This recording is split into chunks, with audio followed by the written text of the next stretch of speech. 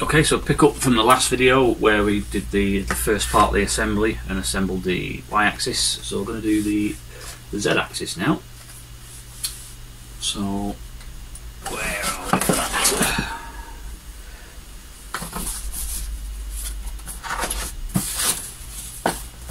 We need the adapters and brackets box.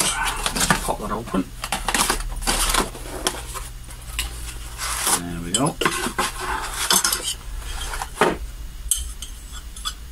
And these look to go. Let's get this the right way, right way around.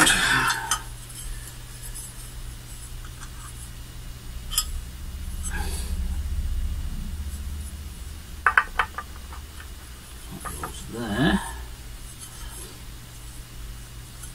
That goes there. And we use some M8 screws again. So that's something nice to see actually. There's the number of times printers use different screws all over the shop. It seems that nearly everything on this is the same same screw thread except for the feet which are uh, I think they were M4 by 10s. Uh, everything else is in M4 by 8 so it just just makes life easier really. So I'll just secure these on here.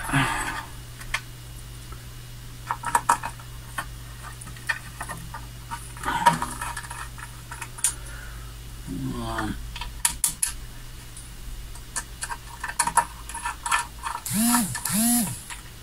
Two.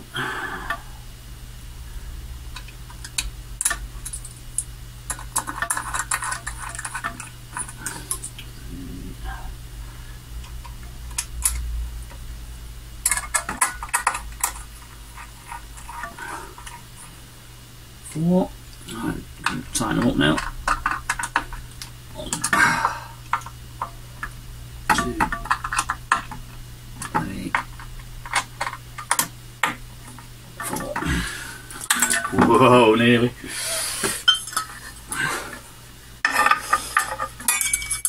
I'll get this one in.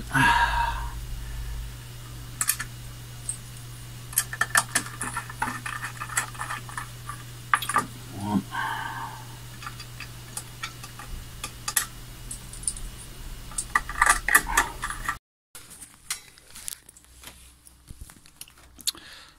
Okay, so a bit of a bummer. I ran out of SD card space partway through recording assembly of the uh, the Z-axis and the X-axis. It's a bit of a shame, um, but it, it is pretty straightforward.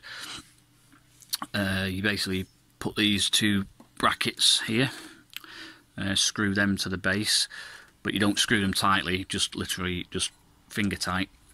Uh, then put this axis and the far axis, put those on, uh, and route the cables. I don't know if you can see this down here, but the cable routes out the back of the bottom through this hole under the base. Same with this one. Uh, and then it's six screws on the back of here. Uh, again, I did them in one, two, three, four, five, six. Again, loose, not not tight. Uh, same on this side.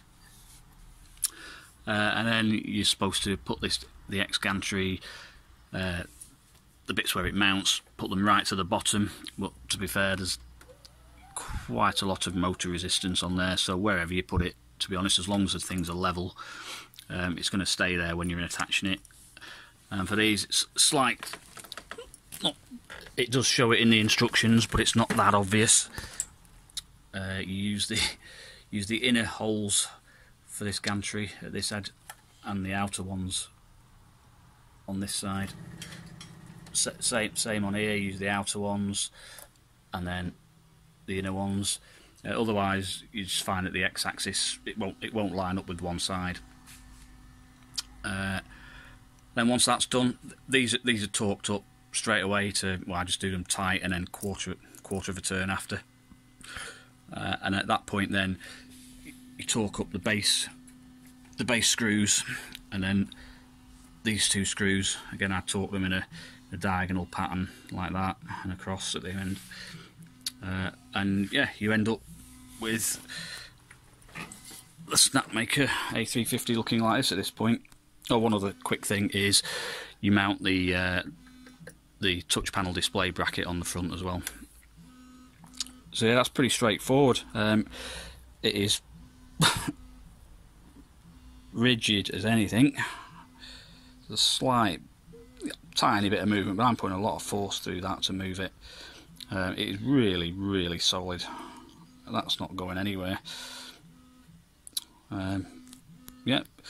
So yeah, slightly shorter than planned this video. I was going to show me assembling it, but it's only it's only a few few screws on this one at the end of the day.